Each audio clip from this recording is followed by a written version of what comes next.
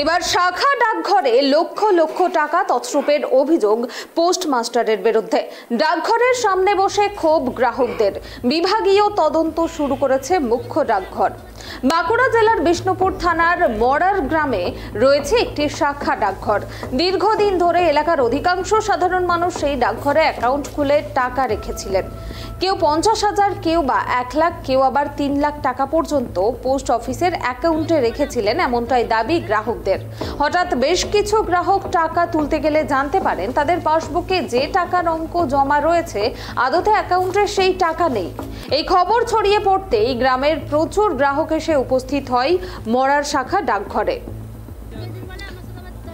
এ বিষয়ে আমরা বিস্তারিত জানব। টেলিফোন লাইনে রয়েছেন ট্রাইব টিভির প্রতিনিধি সঞ্জীব মল্লিক। সঞ্জীব, ডাকঘরে শাখা ডাকঘরে লক্ষ লক্ষ টাকা তছরূপের অভিযোগ উঠছে পোস্টমাস্টারের বিরুদ্ধে। কি জানা যাচ্ছে এ বিষয়ে বিস্তারিত জানাও আমাদের। কি কি অভিযোগ করছে গ্রামবাসীরা? দেখো পুনমি একেবারেই এই ঘটনাকে কেন্দ্র করে মরার এলাকায় যে সমস্ত গ্রাহকরা রয়েছে, তাদের মধ্যে কিন্তু একটা ব্যাপক চাঞ্চল্য তৈরি হয়েছে। এখন তাদের আগামী দিনে পরিস্থিতি কি হবে, এই ভেবে। আমরা যেমনটা জানতে পারছি যে বাঁকুড়া জেলার বিষ্ণুপুর থানার অন্তর্গত মরার গ্রামে একটি শাখা ডাকঘর রয়েছে। সেখানে দীর্ঘদিন ধরে ওই এলাকার দরিদ্র মানুষ যারা রয়েছেন, তারা নিজেদের টাকা সেই টাকা তারা ডাকঘরে রেখেছেন। কেউ পঞ্চাশ হাজার কেউ এক লাখ আবার কেউ তিন লাখ পর্যন্ত ওই ডাকঘরে রেখেছেন। কিন্তু তারা যখন সম্প্রতিকালে সেই টাকা তুলতে যায় তাদের অ্যাকাউন্টে যে টাকা থাকার কথা তারা তখন দেখে যে সেই টাকা তাদের অ্যাকাউন্টে নেই। এই খবর এলাকায় ছড়িয়ে পড়তেই সমস্ত যারা গ্রাহক রয়েছেন ওই শাখা ডাকঘরের যারা গ্রাহক রয়েছেন তারা শাখা ডাকঘরের সামনে এসে বিক্ষোভ দেখাতে থাকেন। কিন্তু সারাদিন পেরিয়ে গেলেও আমরা দেখতে পাই যে শাখা ডাকঘরের যে প্রধান দরজা, সেই প্রধান দরজা খোলা হয়নি। ইতিমধ্যেই আমরা জানতে পেরেছি যে, ওই যে শাখা ডাকঘরের পোস্টমাস্টার রয়েছে, তাকে বরখাস্ত করা হয়েছে এবং বিভাগীয় তদন্ত কিন্তু শুরু করেছে মুখ্য ডাকঘর বিভাগের পক্ষ থেকে। পুনামি। হ্যাঁ ধন্যবাদ সঞ্জীব। আপনাদের আবারও একবার জানিয়ে রাখব, এবার শাখা ডাকঘরে লক্ষ লক্ষ টাকা তছরূপের অভিযোগ পোস্টমাস্টারের বিরুদ্ধে এবং ডাকঘরের সামনে বসে ক্ষোভ গ্রাহকদের। বিভাগীয় তদন্ত শুরু করেছে মুখ্য ডাকঘর। বাঁকুড়া জেলার বিষ্ণুপুর থানার মরার গ্রামে রয়েছে একটি শাখা ডাকঘর এবং দীর্ঘদিন ধরে এলাকার অধিকাংশ সাধারণ মানুষ সেই ডাকঘরে অ্যাকাউন্ট খুলেছিলেন এবং তারা টাকা জমা রেখেছিলেন। কেউ বা পঞ্চাশ হাজার টাকা, কেউ বা এক লাখ, আবার কেউ বা তিন লাখ টাকা পর্যন্ত কিন্তু এই পোস্ট অফিসের অ্যাকাউন্টে রেখেছিলেন বলেই দাবি গ্রাহকদের।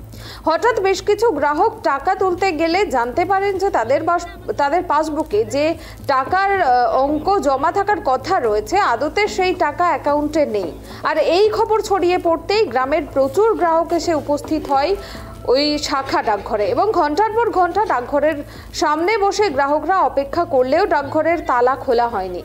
গ্রাহকরা অভিযোগ করছেন, মরার শাখা ডাকঘরের পোস্টমাস্টার এই দুর্নীতি করেছেন। এ বিষয়ে এখনও পর্যন্ত কোনো লিখিত অভিযোগ দায়ের না হলেও মুখ্য ডাকঘরের পক্ষ থেকে এ বিষয়ে বিভাগীয় তদন্ত শুরু হয়েছে।